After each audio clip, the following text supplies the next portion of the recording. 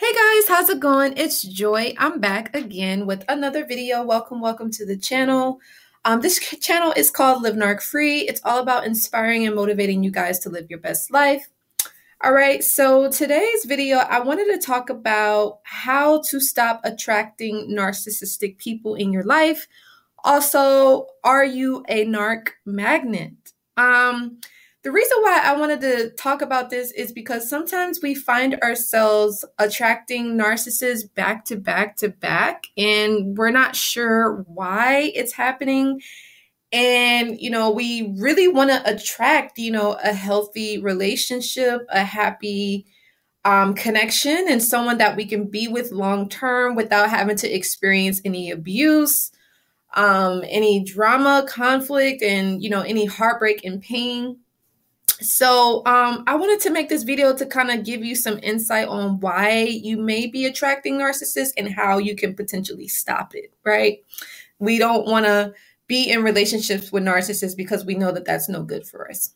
All right, so let's get into it. So, some of the some of the ways you can tell if you are a narcissistic magnet and why you may be attracting narcissists back to back is potentially is maybe you had narcissistic parents um, now, this is pretty common with a lot of people that have had um, narcissistic parents um, because when you grow up in a household um, and your parents are narcissistic, then they're pretty much setting you up to be conditioned and be abused by a partner right? Because essentially they're teaching you like this is home this is how relationships should be relationships should be dysfunctional. Relationships should be about toxicity and um you know just really unhealthy and very bad for a person you know what i mean? But you are learning that as a kid as a child. That's what that's all you know. So you grow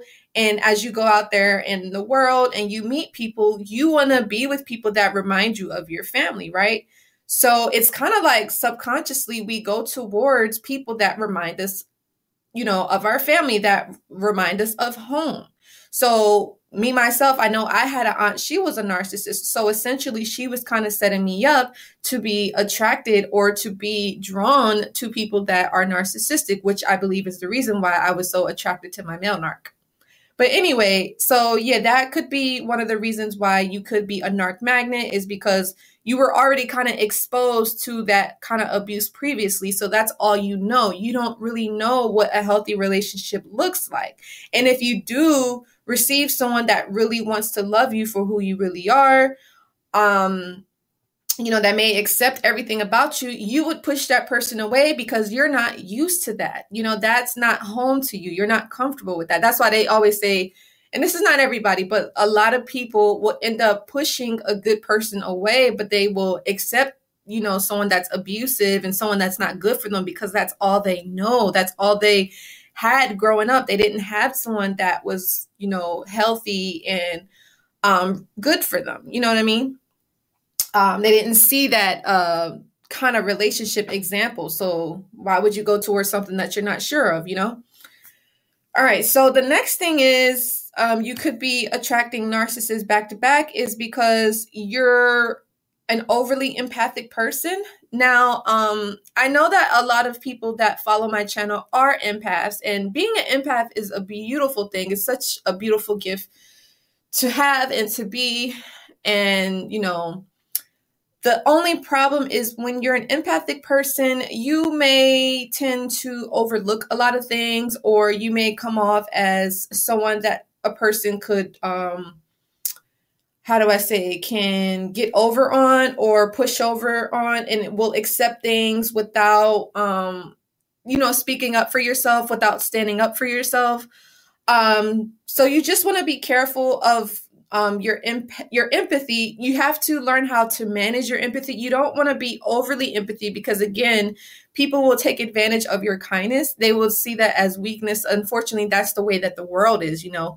But um, initially, um, being an empath is a beautiful thing because you have the ability to feel the feelings of other people as if it's your own.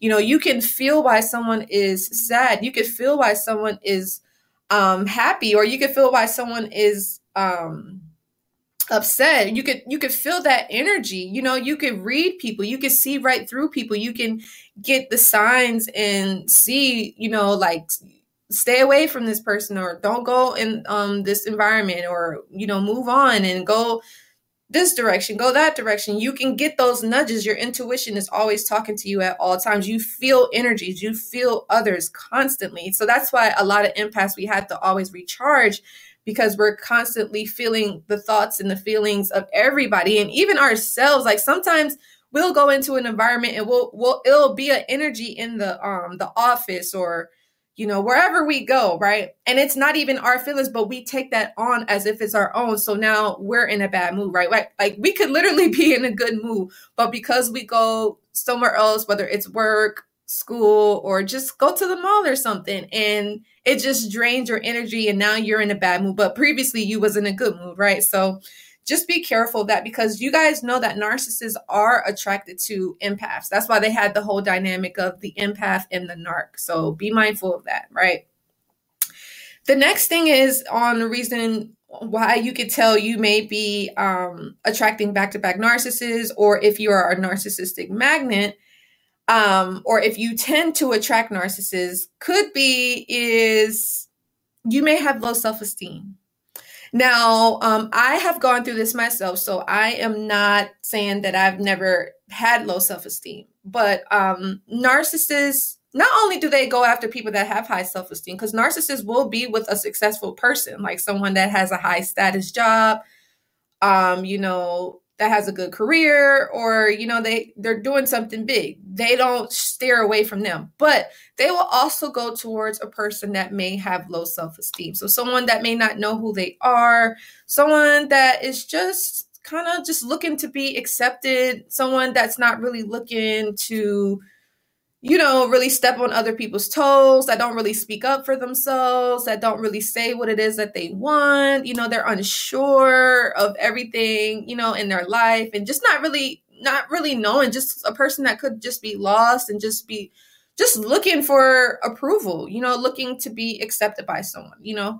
So um, you might want to start to work on your confidence, work on your beliefs, your values, what it is that you want in life and what it what means the most to you, what you value, what's important for you as an individual, you definitely want to work on that because you could be a magnet for a narc. Because um, a narc will take advantage of that, especially if you have low self esteem. They will get you to be codependent on them and ha- have you accept less than what it is that you initially would want in a relationship or what you would want for your life. So please be careful of that.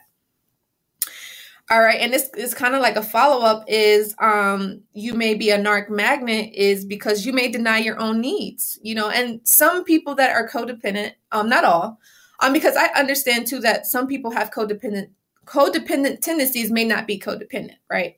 But you may deny what it is that you want and what you need out of a relationship, you know, and that's never really a good thing because it's like you're there in the relationship, but you're not getting anything out of it, right? The whole point of a relationship, not necessarily saying you're going to get something from your partner, but you're going to, you know, enjoy the experience to share your your life with another person not necessarily to get anything you know um but yeah you want to be with someone and their needs are getting met and your needs are getting met but sometimes a narcissist will be attracted to a certain individual that may deny their own needs put their needs on the back burner and focus on the narc. So you just want to be careful that you know your worth, you know your value, and understand that you too are very important and you are worthy of having your needs met. Yes, you are important. I'll say that again. Okay. Never forget that. All right. And again, also another follow up. So, a way that you could be um, a narc magnet, which means you, a narcissist, are attracted to you, right? Is you are a peacemaker and you usually are prepared to make sacrifices to keep a relationship going. So I'm not going to lie, you guys, I went through this myself. Um, you know, being a peacemaker, and not wanting to cause conflict, that's just a part of being an empath. But um to the extent where you sacrifice your your um your well-being and your peace of mind, your emotional well being, all of that just to keep a relationship going, right? That could be someone, or you could be someone that would be a magnet for a narcissist to be attracted to. And you just want to be careful. You, again, you want to make sure that if you're in a relationship, that it's serving you in some way. It's not just so a person is taking from you and you're giving and giving and giving and giving and giving. That's not cool at all. Like you want to be happy. Like you don't want to be miserable. You don't want to be hurting. You don't want to be getting abused. You don't want to be getting used by your person and getting and feeling and getting belittled and being humiliated and embarrassed. No, you want to be happy. You want to share love. You want to share joy and peace. And, you know, that's what you want, right? And we all deserve that. We all deserve to be loved. No one deserves to be mistreated at all. Like that is unacceptable at all times, right? So keep that in mind. You never want to make any sacrifices to keep a relationship going. If it doesn't, you know, suit you, if it's not meeting your criteria, your needs, your standards, leave it alone. Let it go. There's plenty of others out there. You don't need to be stuck to one person you know, you have to understand that the universe is abundant. You know, there's plenty of people out there, plenty of fish in the sea. I'm sure you guys heard that saying, right? Never feel like this is the only the one and only person that will ever love you, that will ever want to be with you, that will ever be attracted to you. And sometimes, unfortunately, the narcissist will say those things to you to make you believe that no one else would ever want you, no one else would ever want to be with you, like you're ugly, you're not attractive, you're fat, you you know just saying like all these mean things you don't ever want to listen to that because none of those things are true. The narcissist will say things to you to keep you from leaving to stop to you know kind of ha- make you have a low self-esteem to bring down your confidence you know and none of those things are true. They're just trying to control you right? So never give in to that. All right so the next thing is um you could be a, a narc magnet a magnet for a narc is you were potentially unloved or you were inadequately unloved in your childhood. Meaning your parents not only could have they they could have been narcissists but other parents may not have been narcissists but they just didn't love you how they should have loved you right? They wasn't really there for you emotionally. They didn't get to know you right? Now um the narcissist because what they'll do is they'll actually try to ask you a lot of questions to find out, you know, how your childhood was. you have to be careful about this because what they'll do is they're going to see, you know, if your parents were there for you, right?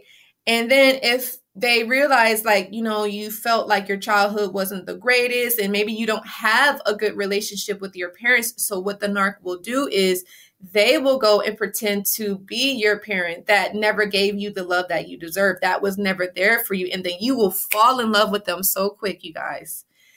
Um and that's that's really crazy because um there it's not even real though. That's the sad part. It's like we're falling in love with a lie. But again it's because our needs wasn't met as a little kid as a little girl as a little boy right um our parents they they couldn't they wasn't they wasn't available emotionally. They just maybe they were working maybe they didn't know how to do it because maybe their parents didn't do that for them. So how would they be able to give that to you right?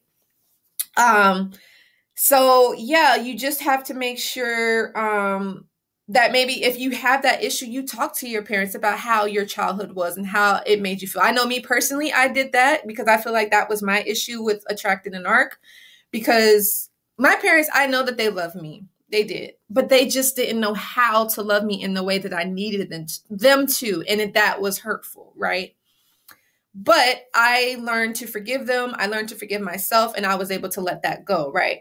Now, some of you guys still may need to do that because that could be the reason why you're still attracting narcissists and why you could be a narcissist magnet, right? So, yes, so um the other thing is you may be quick to forgive. This could also lead you to be a magnet for a narc. You are quick to forgive, and it's nothing wrong with forgiving. But I don't know if you guys saw that um, video that I made where if you should forgive the narc. In that video, I said that I forgave the narc, But that's not saying that I went back to the narc. That's not saying that I accept what the narcissist, I mean, I accept what they did, but it's like I'm not going back to the past. I'm not saying that what they did was okay. I'm saying that I'm forgiving them for my own peace of mind, right? But when you're quick to forgive and you just let things go so easily, you are essentially saying that it's okay to abuse you. It's okay to get over on you. It's okay to for you to be a pushover for for that person to do anything that they want to do and then you're just going to forgive them right? Narcissists want people like that and that's not what you want to be right? You don't want to show up in your relationships like that because you're never going to get any respect. People are always going to use you. They're always going to take you for granted and they're never going to take you serious. So you definitely don't want to be that way right?